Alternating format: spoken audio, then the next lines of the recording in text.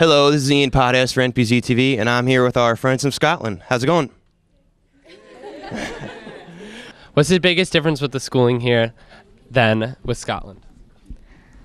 Uh, eye washing stations, and you get to eat in class, and you like chew gum. Where in Scotland do you shop? um, the high street. What's a what's a high street? Is it higher than the other streets?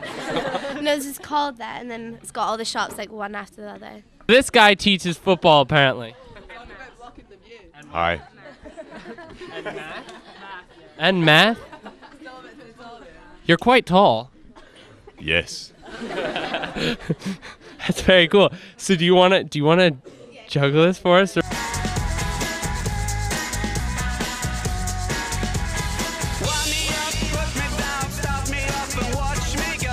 Biggest thing for people who are going to Scotland to look forward to. Um, well, at the time that they'll be coming, it'll be the Edinburgh Festival that's on, and that's really amazing. There's loads of shows and fireworks and everything. You'll really enjoy that. Well, there's lots of different parts. There's the Edinburgh International like Music Festival, and there's dance festivals, and yeah, it's really good fun.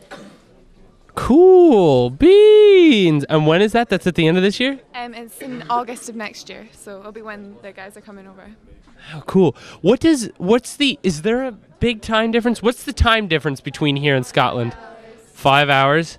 We gotta go. It's been really nice meeting you guys, and um, welcome to New Paltz.